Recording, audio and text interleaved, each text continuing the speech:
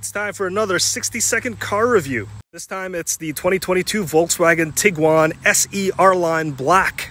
You have the 19 inch gloss black wheels, R-Line badging with the black mirror caps and the window surrounds, special front bumper, a more aggressive looking rear bumper. It's powered by a 2 liter turbocharged engine making 184 horsepower and 221 pound feet of torque. Inside there's the black leatherette interior and also a panoramic sunroof. There's an 8-inch touchscreen with wireless Apple CarPlay and wireless Android Auto. There's an 8-inch fully digital instrument cluster. I really like the steering wheel on here. It's leather. I love the perforations on it and also the flat bottom and the R badging on there. But I hate, hate these touch sensitive buttons on the steering wheel.